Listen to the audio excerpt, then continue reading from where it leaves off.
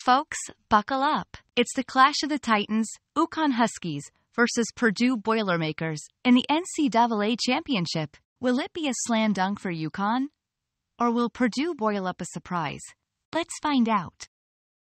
Both teams have been bulldozing their way through the tournament like me, bulldozing through a family sized bag of chips. UConn and Purdue have been winning with margins wider than my last online shopping spree. Now let's talk Giants. It's not just a game, it's a mythical battle. Purdue's 7 foot 4 Zach Edey versus UConn's 7 2 Donovan Clingan. It's like watching two skyscrapers playing basketball. May the tallest win. What can we expect from this game? Honestly, predicting this is harder than choosing a Netflix show on a Friday night. But one thing's for sure it's going to be a roller coaster. So grab your popcorn.